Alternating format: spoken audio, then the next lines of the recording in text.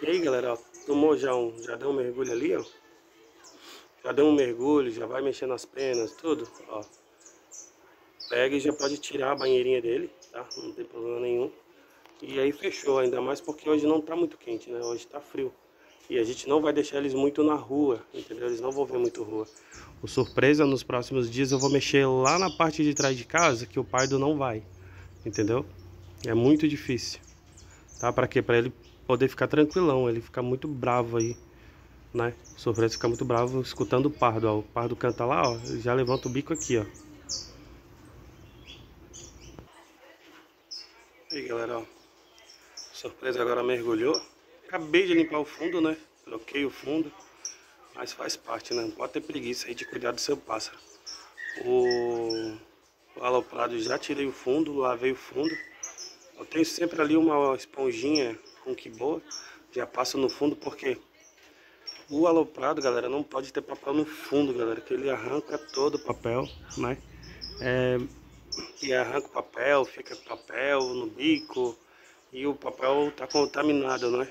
Está contaminado com fezes e também a tinta também do as tintas aí da, da página isso aí acaba acarretando em coccidiose, entendeu? Acaba toxicando teu pássaro.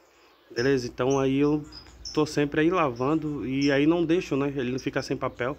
Às vezes eu tento para ver se ele perdeu essa mania, mas não tem jeito, tá? Então o dele é sem papel mesmo, tem que limpar direto. Então então é isso aí, galera. E aí, ó, surpresa acabou de mergulhar. Beleza, um mergulho aí, galera, é o suficiente, tá? O aloprado mergulhou ali, se, se banhou. Já tirei, já lavei o fundo. Agora vamos tirar o de surpresa e vamos para a próxima etapa aí, beleza? E aí, galera, ó, o aloprado já tá encapado. A capa deles vai ficar assim, tá, galera? Vai ficar assim. Final da tarde a gente cobre, tá? Tem dia que eu vou deixar totalmente fechada, vamos dizer assim, um dia sim, um dia não. E tem dia que não. Tá? Tem dia que a gente vai abrir um pouquinho, o pássaro tem que tem que estar tá vendo é, um pouco de luz também. E ele vê que não tem nenhum pássaro aí do lado dele, não tem pássaro para ele ganjear, não tem nada, tá? E o aloprado surpresa aproveitou para dar mais uma mais um mergulho ali, né? E já tá deitando ali no puleiro, ó. Então vamos tirar a banheira dele, vamos encapar também. O... Galera, a gente não vai deixar ele sempre encapado, tá? Esse manejo que eu acabei de fazer, de tirar ele, é, limpar a gaiola, renovar a comida, botar a banheira, a gente vai fazer todo dia, tá? Todo dia.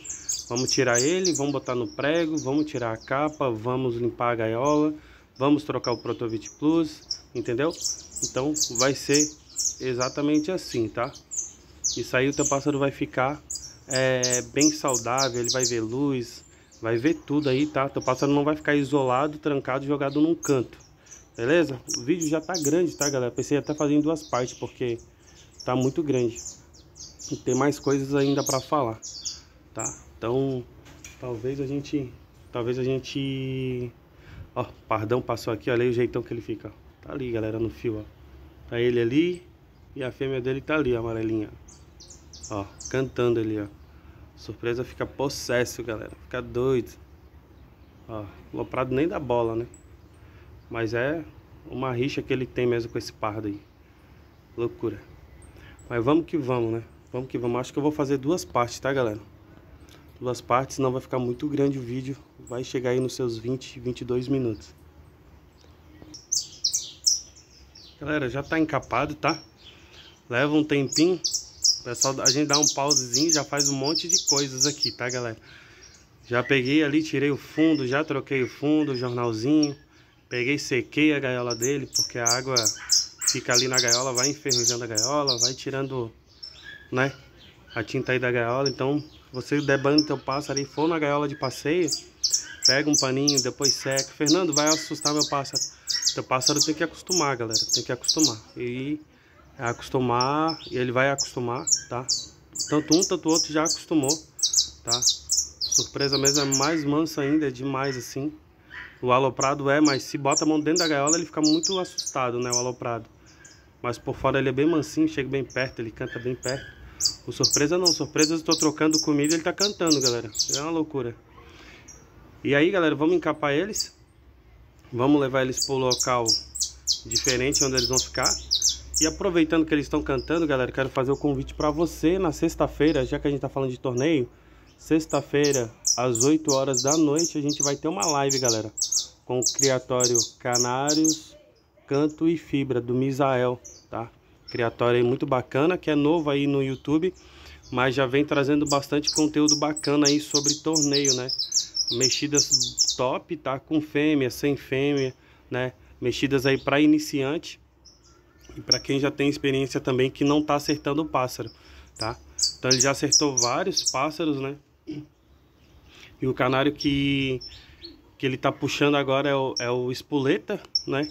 Canário dele muito top, galera. Tirou em primeiro aí, deu 150 cantos. Uma mexida de uma semana para outro, canário deu, 100, deu 150 cantos. Então, o cara tem experiência, né?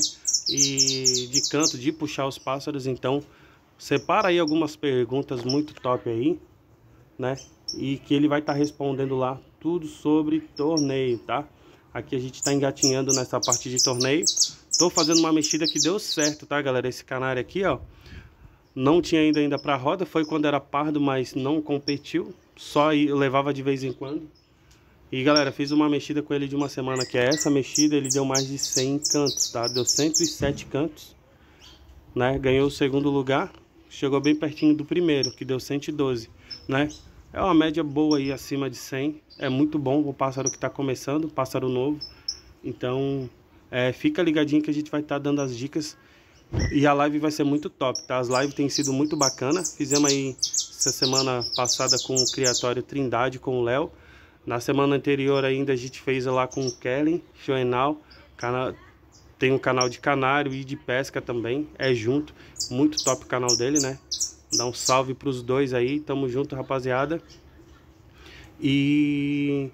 E galera, continuando aqui, a gente vai deixar eles assim e vamos levar lá pro local que é para eles ficar mais de boa, tá? Aí galera, a surpresinha tá aí, ó. Do lado aqui tá o meu coleiro, esse aqui é o Jet Li, para quem não conhece. Que é a lavanderia, galera, que é a parte de trás de casa que eu tanto falo, né? E eles não vê nenhum pássaro aqui, galera. Não vê nenhum pássaro, né? Talvez o barulho do ar-condicionado ali vai dar uma estimulada também. Mas aqui não dá para escutar muito. Até porque aqui tem outra porta, né? Tem algumas gaiolas aqui, vazias, né? Mas tá tranquilo. Aqui também, aqui era onde é era a nossa salinha, né? E aqui virou depósito de gaiolas mesmo, né? E aqui o aloprado, galera, ó. Aqui tem essa luz, né? A iluminação é fundamental, tá? Então, aqui, galera, vamos fechar a porta, ó. Quase não vai dar pra ouvir barulho, quer ver? Ó. Ó o silêncio que dá. Ó. Tá vendo? O pássaro vai ficar tranquilão. Não vai ver nenhum outro pássaro, tá? Ele vai ficar de boa. E aqui, galera, não tem lâmpada, ó. Não tem lâmpada nenhuma. Chega final da tarde, antes de eu ir trabalhar, eu vou trazer a surpresa pra cá. E aí vai escurecer, né? Vai escurecer e eles vão dormir na luz natural, né? Vou colocar bem do ladinho um do outro aqui. E aí vai escurecer, vou fechar a capa, né? Pra não ir vir nenhum bicho assustar ele, uma largatixa, algum, algum outro inseto, né? E aí vai ficar fechadinho para proteger o pássaro também. E eles vão acordar com essa claridade aí quando amanhecer o dia, tá? Aqui, galera, dá para escutar os canários cantar também. Aqui do lado aqui é a salinha dos pássaros, ó, tem aquele pano laranja, uh, roxo, né? E aqui dá, é a salinha. Mas eles conseguem escutar, porém, como eles não vê, o volume baixou muito mais, não tem incentivo, não tem nada, o pássaro o que, que ele vai fazer? Vai relaxar, tá?